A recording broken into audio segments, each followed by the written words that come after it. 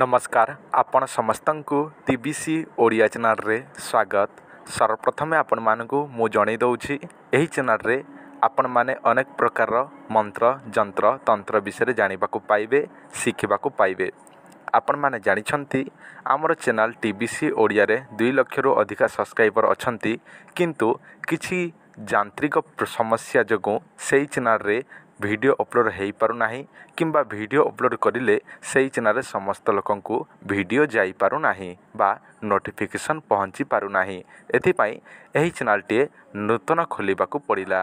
ତ ଯେଉଁମାନେ ନୂଆ ଦେଖୁଛନ୍ତି ବା ପ୍ରଥମ ଥର ଚ୍ୟାନେଲ୍ଟିକୁ ଦେଖୁଛନ୍ତି ତାହେଲେ ଚ୍ୟାନେଲ୍ଟିକୁ ସବସ୍କ୍ରାଇବ୍ କରିକି ପାଖରେ ଥିବା ବେଲ୍ ଆଇକନ୍କୁ ପ୍ରେସ୍ କରିକି ରଖନ୍ତୁ। କାରଣ ଆପଣମାନେ ସବସ୍କ୍ରାଇବ୍ କରୁଛନ୍ତି ସତ କିନ୍ତୁ ପାଖରେ ଥିବା ବେଲ୍ ଆଇକନ୍କୁ ପ୍ରେସ୍ କରିବାଟା ଭୁଲି ଯାଉଛନ୍ତି। ତ ଆପଣମାନେ ପ୍ରେସ୍ କରିକି ରଖନ୍ତୁ ବା କ୍ଲିକ୍ କରିକି ରଖନ୍ତୁ ଯାହାଦ୍ୱାରା ଏହି ଚ୍ୟାନେଲ୍ରେ ଯେତେ ମଧ୍ୟ ନୂଆ ଭିଡ଼ିଓ ଆସିବ ସେସବୁ ଆପଣଙ୍କୁ ନୋଟିଫିକେସନ୍ ପହଞ୍ଚି ପାରିବ ଏବଂ ଆପଣମାନେ ଜାଣିପାରିବେ ଦେଖିପାରିବେ ଶିଖିପାରିବେ।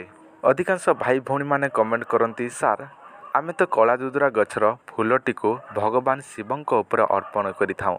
କିନ୍ତୁ ସେହି ଗଛରେ କେତେ ପ୍ରକାର ଶକ୍ତି ଥାଏ ଏବଂ ସେହି ଗଛର ଚେରଟିକୁ ପିନ୍ଧିଲେ ଆମର କ'ଣ ସବୁ ଭଲ ହେବ ବା ଠିକ୍ ହେବ ନିଜର ସମସ୍ୟା କ'ଣ ସବୁ ସମାଧାନ ହେବ ସେହି ବିଷୟରେ ଭିଡ଼ିଓଟିଏ ତିଆରି କରିକି ଅପଲୋଡ଼୍ କରନ୍ତୁ ବୋଲି ମେସେଜ୍ କରିଥିବାରୁ ଏହି ଭିଡ଼ିଓଟି ଆପଣମାନଙ୍କ ପାଇଁ ବା ଅନୁରୋଧ କ୍ରମେ ହିଁ ଏହି ଭିଡ଼ିଓଟି ଅପଲୋଡ଼୍ ହୋଇଛି। ଦେଖନ୍ତୁ କଳା ଦୁଦୁରା ଗଛର ଚେରଟିକୁ ପିନ୍ଧିବା ଦ୍ୱାରା ଅନେକ ଫାଇଦା ହୋଇଥାଏ ଏବଂ ନିଜର ସମସ୍ତ ସମସ୍ୟା ଦୂର ହୁଏ। ପ୍ରଥମ ସମସ୍ୟା ଏମିତି ଅନେକ ବ୍ୟକ୍ତିମାନେ ଅଛନ୍ତି ଯେଉଁମାନଙ୍କର ବହୁତ ବଡ଼ ସମସ୍ୟା ଥାଏ ଯେ ସେମାନେ ଯେତେ ରୋଜଗାର କରନ୍ତି ଯେକୌଣସି ଚାକିରି କରନ୍ତି ଯେକୌଣସି ବ୍ୟବସାୟ କରନ୍ତି ଗାଡ଼ି ମଟର ରଖିକି ଧନ୍ଦାବାଡ଼ି ଆରମ୍ଭ କରନ୍ତି ସେମାନେ କୁହନ୍ତି ଆମେ ଯେତେ ରୋଜଗାର କରୁଛୁ କିନ୍ତୁ ସେଇ ଟଙ୍କା ରହୁନାହିଁ। କାରଣ କ'ଣ? ଏହା ଆପଣଙ୍କ ଘରର କୌଣସି ବାସ୍ତୁ ଦୋଷ ହେଉ କିମ୍ବା ଆପଣଙ୍କର ରାଶି ନକ୍ଷତ୍ର କୌଣସି ଖରାପ ଥିବାରୁ ମଧ୍ୟ ଏସବୁ ସମସ୍ୟାର ସମ୍ମୁଖୀନ ହେବାକୁ ପଡ଼ିଥାଏ। କିନ୍ତୁ ଆପଣମାନେ କ'ଣ କରିବେ? ଯେକୌଣସି ଶନିବାର ସନ୍ଧ୍ୟା ସମୟରେ ଏହି ଗଛଟିକୁ ବିଧିବିଧାନ ସହିତ ପୂଜାବିଧି କରିବେ ବା ନିମନ୍ତ୍ରଣ କରିବେ। ତାହାପରେ ରବିବାର ଦିନ ବ୍ରହ୍ମ ମୁହୂର୍ତ୍ତରୁ ଆପଣ କ'ଣ କରିବେ? ସେହି କଳା ଦୁଦୁରା ଗଛର ଚେରଟିକୁ ଆଣିବେ ଏବଂ ଆପଣ ନିଜେ କୌଣସି ଏକ ତାବିଜ ବା ଡେଉଁରିଆରେ ପିନ୍ଧିବେ। ଏହାଦ୍ୱାରା ଆପଣ ଯେତେ ରୋଜଗାର କରୁଛନ୍ତି ସେହି ଟଙ୍କା ଆପଣଙ୍କ ଦ୍ୱାରା ଯେଉଁ ଖର୍ଚ୍ଚ ହେଉଛି ସେହି ଖର୍ଚ୍ଚରୁ ଆପଣମାନେ ମୁକ୍ତି ରହିପାରିବେ ବା ଆପଣଙ୍କର ଖର୍ଚ୍ଚ ହେବ ନାହିଁ। ଏହା ପ୍ରଥମ ସମସ୍ୟା।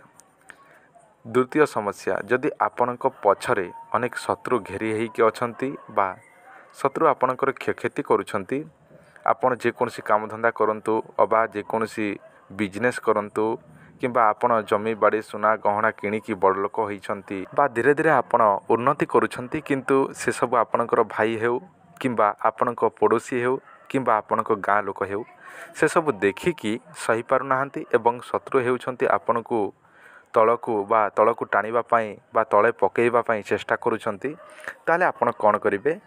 ଯେକୌଣସି ଶୁକ୍ରବାର ଦିନ ବୁଝିଲେ?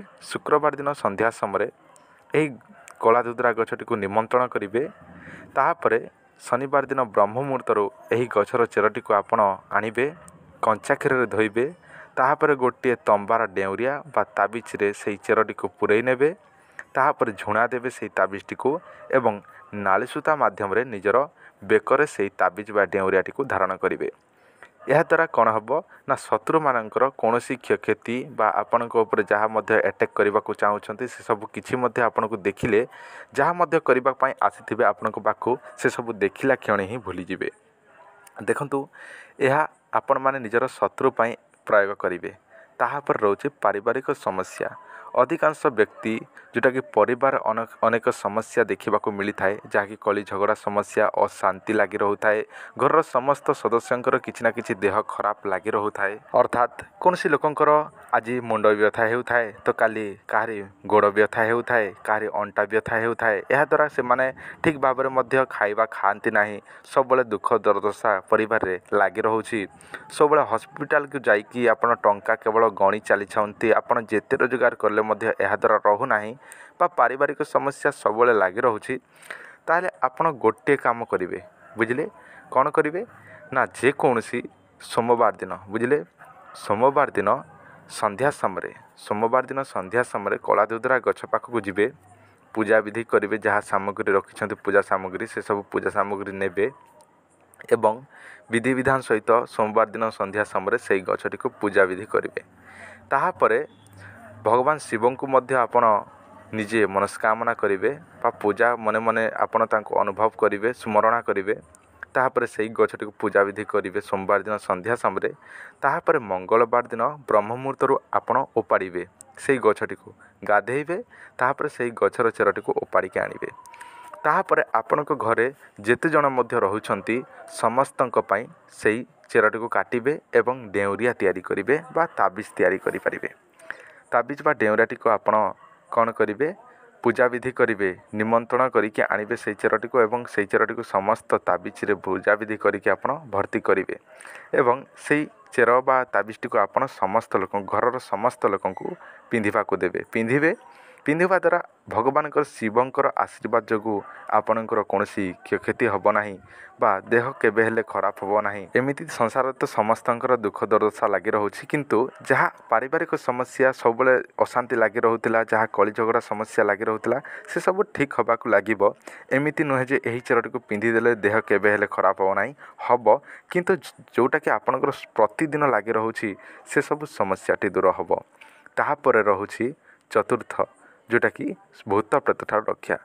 ଏହି ଚେରଟିକୁ ଆପଣ ଯେକୌଣସି ଦିନ ମଧ୍ୟ ସୋମବାର ହେଉ ମଙ୍ଗଳବାର ହେଉ ବୁଧବାର ହେଉ ଯେଉଁଟା ସପ୍ତାହରେ ଯେକୌଣସି ବାରରେ ମଧ୍ୟ ଆପଣ ଏହି ଗଛର ଚେରଟିକୁ ଯେଉଁଦିନ ଆଣିବେ ତାହାରି ପୂର୍ବଦିନ ସନ୍ଧ୍ୟା ସମୟରେ ପୂଜା ବିଧି କରିକି ଆଣିବେ ଏବଂ ସେହି ଚେରଟିକୁ ପିନ୍ଧିବେ ତାହେଲେ ଭୂତ ପ୍ରେତ ଆପଣଙ୍କୁ ଛୁଇଁ ପାରିବେ ନାହିଁ। ଅଧିକାଂଶ ସମୟରେ ଦେଖିବାକୁ ମିଳିଥାଏ ଛୁଆ ପିଲାଙ୍କୁ ଯେଉଁଟାକି ଜନ୍ମ ହେଲା ପରେ ଦୁଇ ଚାରି ମାସ କିମ୍ବା ଗୋଟିଏ ମାସ କିମ୍ବା ଯେତେ ମାସ ଛୁଆ ଲୋକ ଯେଉଁଟାକି ଛୋଟ ପିଲାମାନଙ୍କୁ ଭୂତ ପ୍ରେତ ଛୁଇଁଥାନ୍ତି ବା ଲାଗି ଯାଇଥାଏ ଏସବୁ ତ ପୂର୍ବରୁ ହିଁ ଅଛି।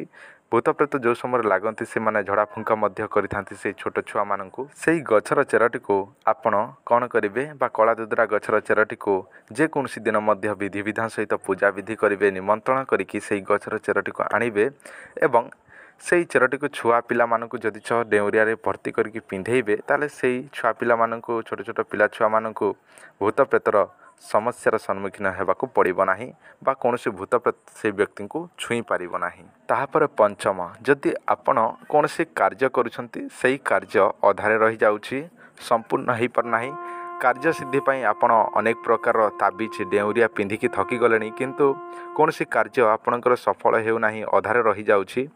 ତାହେଲେ ଆପଣ କ'ଣ କରିବେ?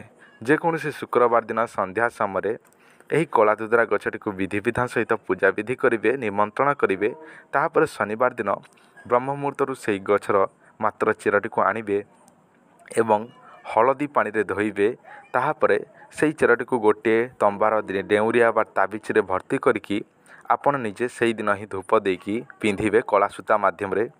ତାହେଲେ ଆପଣଙ୍କର କାର୍ଯ୍ୟ ଅଟକିଥିବା କାର୍ଯ୍ୟଟି ସମ୍ପୂର୍ଣ୍ଣ ହେବ। ବା ଆପଣଙ୍କର ସମସ୍ତ କାର୍ଯ୍ୟ ସିଦ୍ଧି ହେବ। ଅର୍ଥାତ୍ ଯେକୌଣସି କାମ ହେଉନାହିଁ ତାହା ଛୁଇଁଦେଲା ମାତ୍ରକେ ହୋଇଯିବ। ଯଦି ଆପଣଙ୍କର ଠିକାଦାର ଆପଣ ଯେକୌଣସି କାମଧନ୍ଦା କରିଲେ ହେଉନାହିଁ କିମ୍ବା ଆପଣ ଯେକୌଣସି ବେପାର ବଣିଜ କାମ ଧନ୍ଦା କରୁଛନ୍ତି ସେହି କାମ ଅସଫଳ ହେଉଛି ତାହେଲେ ସଫଳ ହେବାକୁ ଲାଗିବ। ମୁଁ ଆପଣମାନଙ୍କୁ କଳା ଦୁଦୁରା ଗଛର କିଛି ପ୍ରୟୋଗ ବିଧି ଜଣାଇଲି। ଯଦି ଆପଣଙ୍କ ମନକୁ ଛୁଇଁଥାଏ ବା ପସନ୍ଦ ଲାଗିଥାଏ ତାହେଲେ ଭିଡ଼ିଓଟିକୁ ଲାଇକ୍ କରନ୍ତୁ ଏବଂ ଭଗବାନ ଶିବଙ୍କୁ ଆପଣ ଯଦି ଛ ମାନନ୍ତି ଆପଣ ଭଗବାନଙ୍କୁ ମାନିଥାନ୍ତି ତାହେଲେ ଆପଣମାନେ କମେଣ୍ଟ ବକ୍ସରେ ଓମ୍ ନମ ଶିବାୟ ମଧ୍ୟ ଲେଖନ୍ତୁ ଏବଂ ଏହି ଚ୍ୟାନେଲଟିକୁ ସବସ୍କ୍ରାଇବ୍ କରିନଥିଲେ ସବସ୍କ୍ରାଇବ୍ କରିକି ରଖନ୍ତୁ। ଆଜିର ଭିଡ଼ିଓ ଏତିକି। ଭିଡ଼ିଓ ଦେଖିଥିବାରୁ ଧନ୍ୟବାଦ। ନମସ୍କାର।